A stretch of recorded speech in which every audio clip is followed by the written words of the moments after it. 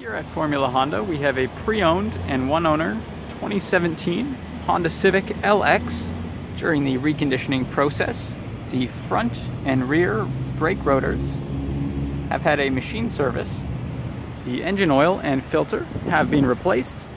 There are also new wiper blades. This vehicle has been fully detailed, so come check it out here at Formula Honda.